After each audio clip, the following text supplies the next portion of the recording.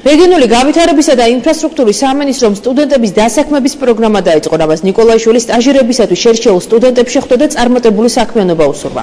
მოზარდთა შერჩევა იმ მემორანდუმის საფუძველზე მოხდა, რომელიც სამინისტროსა და 4 უნივერსიტეტის 4 უნივერსიტეტის შორის გაფორმდა. ხელშეკრულება ითვალისწინებს სტუდენტების გადამზადებას, პრაქტიკის გავლას და წარჩინებულების დასაქმებას.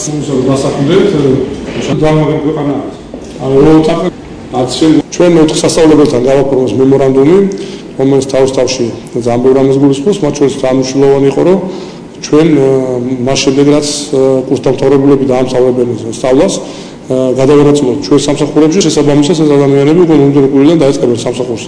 და გაივლიან პრაქტიკას ჩვენ პროექტებში და მათ შორის დარჩენებულები აბსოლუტურად ყველა თუ მოახერხებს ამის გაკეთებას აბსოლუტურად ყველა მიიღებს სამსახურს რეგიონულ განვითარების და ინფრასტრუქტურის სამინისტროში. ჩვენთვის ეს არის პირადად ძალიან დიდი შესაძლებლობა რომელშიც დავსაქმდე სტაჟირება იქნება დიდი ტრამპლინი ასე რომ ვთქვათ ჩვენთვის და ძალიან მადლობელი ვარ მეც და ჩემი მეგობრებიც რომ ასეთი შანსი მოგვეცა სამინისტროს მხრიდან.